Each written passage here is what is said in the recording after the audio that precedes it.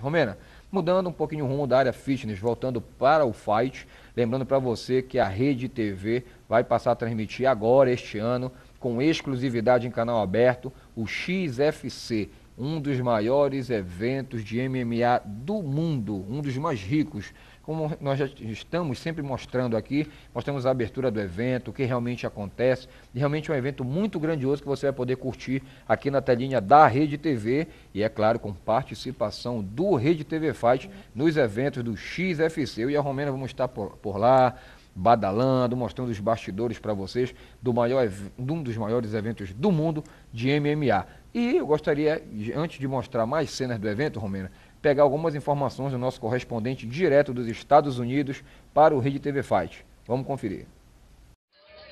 The Nashville Municipal Auditorium was a night of crazy finishes for XSC 26 Night of Champions number three. Two championship fights on tonight's card. Michael Chavello, Pat Milicic with you. What a night it was. First of all, Luis Sapor Santos, a man who his three previous fights had finished his opponents in an average time of 34 seconds, had another crazy first round finish. Check this out. The head kick to start it all was brilliant, Pat. No, the release on his legs is so fast and unbelievable that you cannot fight a guy like that and not have your hands next to your head at all times. Justin Davis getting pounded out within seconds of the opening round.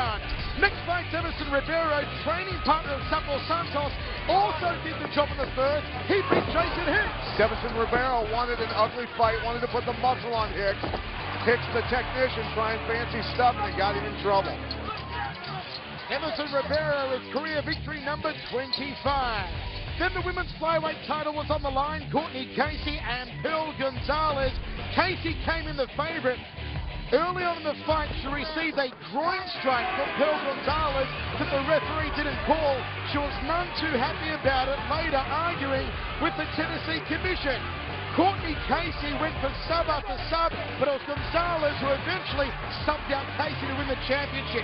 Let's take a look here at the groin strike that no one noticed. Yeah, right on the pelvic bone. It's going to hurt no matter whether you're a guy or a gal. That is a painful spot to get hit. But Corey Casey did look good in the first two rounds, had a lot of submissions. You see her there complaining to the commission afterwards. Courtney Casey, none too happy. Then in our main event, the lightweight title was on the line as defending champion Scott Hot Sauce Holtzman 5-0 took on the leprechaun Roger Carroll. Holtzman again, a flawless performance patch, his ground and pound, his kicks, his hands, his elbows, and a massive, massive cut over the thigh of Carroll. Yeah, Roger Carroll absorbing a massive amount of damage in this fight, but Scott Holtzman showing that really, for the amount of fights that he has, his composure and his technique is well beyond that. Holtzman goes 6-0. Who can possibly stop this absolutely rampaging machine of a lightweight champion? Pat, for me, the highlight here tonight, though, once again had to be Luis Sapor Santos. As I said, previous three opponents finished at an average of 34 seconds. About the same here tonight. His legs are so quick. Now, with the amount of fights he has, and the athleticism that he has, his kicks are sick. Sick. Folks, we've got plenty of action coming your way here on Access TV, your home for MMA.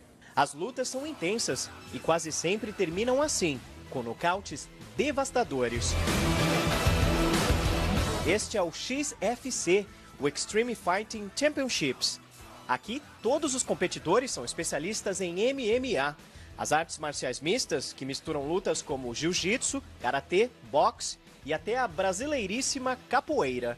Os lutadores brasileiros são dominantes em várias categorias do XFC. Nossos atletas geralmente são escolhidos para as principais lutas de cada evento. O paraense Luiz Santos, o Sapo, é um dos atletas mais respeitados do mundo. Com 59 vitórias no currículo, ele se filiou ao XFC para enfrentar adversários do mesmo nível. Todo atleta quer estar lutando numa grande companhia e eu não fui diferente. E o XFC está chegando ao Brasil. A partir do começo do ano que vem, vão ser realizados 10 eventos no país, além das lutas nos Estados Unidos. E você vai poder assistir todos os combates ao vivo aqui na Rede TV, a única emissora brasileira que vai transmitir o XFC. O XFC é uma grande franquia americana que vai estar chegando no Brasil, aí vai dar oportunidade para grande talento brasileiro. O campeão dos pesos leves do XFC, o americano Scott Holtzman, está animado em poder lutar para o público brasileiro.